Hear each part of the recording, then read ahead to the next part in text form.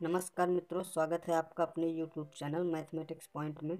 दोस्तों, इस वीडियो में हम बात करने वाले हैं कि यूपी टीटी की जो आप मतलब संशोधित आंसर की है, वो कब तक आएगी, कब आएगी? कई यूट्यूब चैनल पर भ्रम फैलाया जा रहा है कि वो निर्धारित समय, यानी तीस नवंबर को नहीं आएगी। तो आप बने रहिए वीडियो में, हमारे साथ हम पूरी जानकारी आपको देने वाले हैं। लेकिन उससे पहले दोस्तों, यदि आप हमारे चैनल में नए आए हैं और अभी तक चैनल को सब्सक्राइब नहीं किया है तो सब्सक्राइब कर लीजिए। और बेल आइकन का बटन दबाइए। इससे यह होगा कि हम भविष्य में जो भी शिक्षा जगत की संपूर्ण खबरें लेकर आते रहते हैं तो वो आप तक बिना किसी समस्या के आसानी से पहुँच सकेंगी। तो चलिए चलते हैं दोस्तों वीडियो की तरफ़।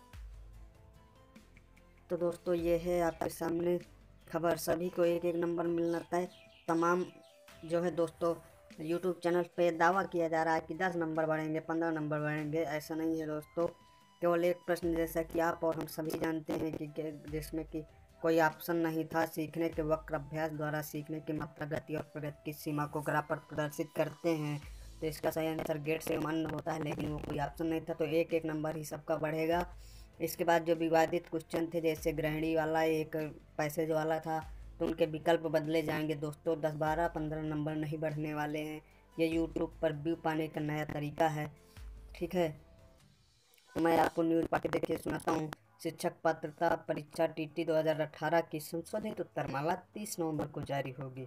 परीक्षा नियामक प्राधिकारी कार्यालय ने प्राथमिक व उच्च प्राथमिक स्तर की परीक्षा के प्रश्नों पर मिली तकरीबन चार हज़ार आपत्तियों के विस्तारण के लिए विषय विशेषज्ञों की समिति से रिपोर्ट मांगी है। लेकिन इस बीच अभ्यर्थियों के दावों की माने तो प्राथमिक स्तर की परीक्षा में कम से कम एक नंबर सभी को समान रूप से मिलना तय है। दरअसल सवाल का कोई विकल्प सही नहीं है।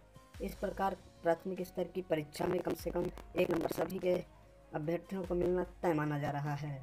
सीखने के वक्त अभ्यास द्वारा सीखने की मात्रा, गति और प्रगति की सीमा को ग्राफ पर प्रदर्शित करते हैं। बुकलेट संख्या सी के प्रश्न संख्या दो का विकल्प रास इसके नरवा एम एल दिया था। परीक्षा नियामक पदाधिकारी ने एबिंगहास को सही माना है, जबकि अभ्यर्थियों के अनुसार कोई विकल्प सही नहीं है।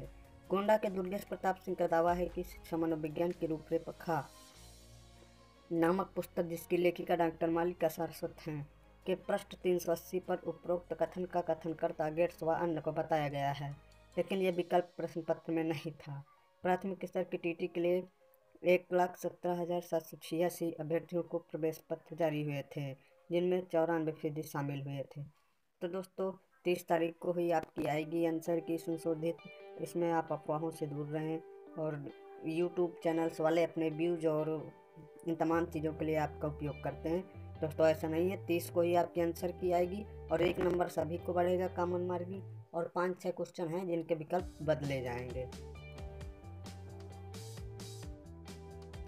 तो मित्रों, यदि आपको हमारा ये वीडियो पसंद आया हो तो वीडियो को लाइक कर दीजिए शेयर कर दीजिए और चैनल को सब्सक्राइब कर दीजिए, क्योंकि हम ऐसी ही न्यूज़ आपके लिए लेकर आते रहते हैं, जिससे कि आपकी कोई न्यूज़ आपसे मिस ना हो। तो दोस्तों, इस वीडियो में इतना ही।